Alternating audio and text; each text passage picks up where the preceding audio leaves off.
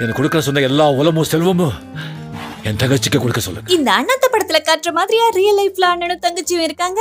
இல்ல நம்ம வீரம் படத்துல வர மாதிரி தான் அண்ணன் தம்பி இருக்காங்களா? அந்த படங்கள்ல வர சீன் எல்லாமே வெறும் படங்களுக்கு மட்டும்தான். ஆமா ஆமா படங்கள்ல மட்டும்தான். இந்த மாதிரி உயிரை கொடுத்து காப்பாத்துறது எல்லாம் படங்கள்ல மட்டும்தான். ரியல் லைஃப்ல அதெல்லாம் எதுவுமே நடக்காது. வீட்ல கொடுக்குற ஒரு ஆயிரம் ரூபாய்க்கு கூட பெரிய சண்டை வரும். நம்ம அம்பானி பிரதர்ஸ பாரு ஒருத்தர் இந்தியாலயே பெரிய பணக்காரரா இருக்காரு இன்னொருத்தர் திவாலாகிற ரேஞ்சில இருக்காரு. இதுதான் ரியல் லைஃபோட பெரிய எக்ஸாம்பிள் பா. நீ சொன்ன வாக்கியத்தை தஞ்சாவூர் கோயில் கல்வெட்டுல வெட்டி வச்சிட்டு பக்கத்திலேயே நீ உட்கார்ந்துக்க. ஆமா படங்கள்ல அண்ணன் தம்பி அண்ணன் தங்கச்சி பாசனாலே அதுவும் அந்த மாதிரி கேரக்டர்ஸ்ல பெரிய ஹீரோஸ்லாம் நடிச்சா சூப்பர் டூப்பர் ஹிட் தான் ஆகும்ல. நம்ம இளைய தளபதிக்கு திருப்பாச்சி பகவதி நம்ம அல்டிமேட் ஸ்டாருக்கு வாலி வீரம். என்ன வாலி அண்ணன் தம்பி சென்டிமெண்ட் படமா? நீ அந்த படத்தை ஒரு தடவை கூட பார்த்தது இல்லைன்னு நினைக்கிறேன். டேய் வாலில அண்ணன் தம்பி சென்டிமெண்ட் இல்லனாலும் அதுவும் ஒரு அண்ணன் தம்பி படம் தானடா? ஆமா ஆமா. அண்ணன் தம்பி படம் தான். நீ சொன்ன மாதிரியே வாலி ஒரு அண்ணன் தம்பி படம் தான். நீ கண்டினியூ பண்ணு. அப்புறம் நம்ம சூப்பர் ஸ்டார் அவரு நடிக்காத படமா? எவ்வளவு படம் நடிச்சிருக்காரு அவரு பாசத்தை கட்டஞ்சு நெய்யா உருக்குன படத்துல நிறைய நடிச்சிருக்காரு அவரு நடிக்காத அண்ணன் தம்பி படமா? இல்ல அண்ணன் தங்கச்சி படமா? ரஜினிகாந்த் சார். ஃபர்ஸ்ட் ஃபர்ஸ்ட் அண்ணன் தங்கச்சி சென்டிமெண்ட்ல நடிச்ச படம் முள்ளும் மலரும். மகேந்திரன் சார் டைரக்ட் பண்ண இந்த மூவி சூப்பர் ஸ்டாருக்கு ஒரு பெரிய டேர்னிங் பாயிண்ட கொடுத்த movie 15th August nineteen seventy எயிட்ல ரிலீஸ் ஆன இந்த படம் ஸ்டார்டிங்ல தேட்டர்ல சரியா ஓடலனாலும் இந்த படத்தை பார்த்தவங்க சொன்னதை வச்சு நிறைய பேர் பார்க்க ஆரம்பிச்சாங்க. அதுக்கப்புறம் இந்த படமும் செம்ம ஹிட் அடிச்சது.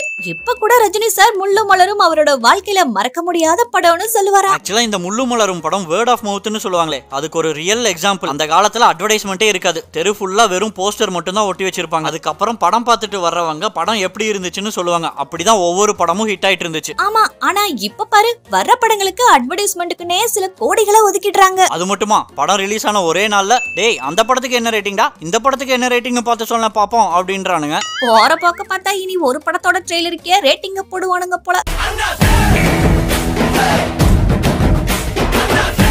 தொள்ளாயிரத்தி எழுபத்தி எட்டுல முள்ளு மலரும்ல அண்ணன் தங்கச்சி சென்டிமெண்ட்னா ரஜினி சார் ஆயிரத்தி தொள்ளாயிரத்தி எழுபத்தி ஒன்பதுல ஆறில இருந்து அறுபது வரை படத்துல அண்ணன் தம்பி சென்டிமெண்ட்ல நடிச்சாரு. இந்த ரெண்டு மூவிஸ்மே அவர் அதுக்கப்புறம் பெரிய பெரிய கமர்ஷியல் மூவிஸ்ல நடிக்க ரொம்ப ஹெல்ப்பா இருந்துச்சு. ஆயிரத்தி தொள்ளாயிரத்தி எண்பதுகள்ல அவருக்கு பெரிய ஹிட் கொடுத்த நிறைய மூவிஸ்ல ஒண்ணு அண்ணன் தங்கச்சி சென்டிமெண்ட் இல்லனா அண்ணன் தம்பி சென்டிமெண்டா இருந்துச்சு.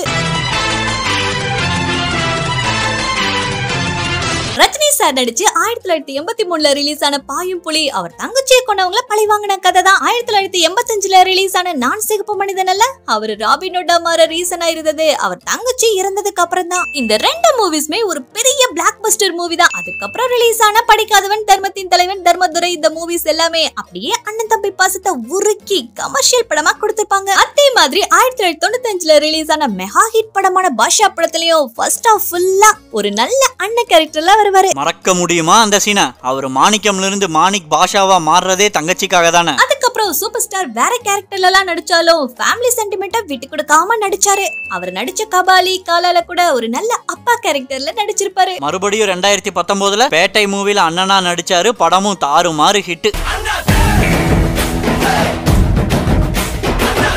இப்போ மறுபடியும் ரிப்பீட்டா அண்ணன் கேரக்டர்லயே வராரு. படத்தோட ட்ரெய்லர்லயே அண்ணன் தங்கச்சி பாசத்தை புளியோ புளின்னு புளிஞ்சிருக்காங்க. அதே மாதிரி சன் டிவியோட அட்வர்டைஸ்மெண்ட்டுக்கு சொல்லவே தேவையில்லை.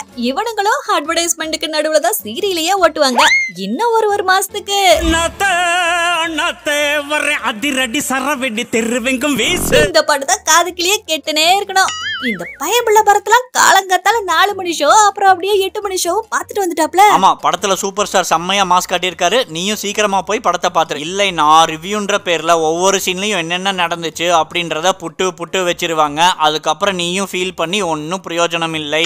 நானும் இன்னைக்கு ஈவினிங் ஷோ புக் பண்ணிருக்கேன். ஃபேமிலியோட போய் பாத்துறேன் நம்ம வீடியோக்கு கமெண்ட் பண்ற எல்லாரும் ஹாய் அக்கா ஹாய் அண்ணா மட்டும் சொல்லாம நாங்க போட்ட வீடியோ பத்தி கமெண்ட் பண்ணா இன்னும் நல்லா இருக்கும். உங்களை நெக்ஸ்ட் வீடியோல மீட் பண்றேன். தேங்க்யூ சிட்டா பபாய்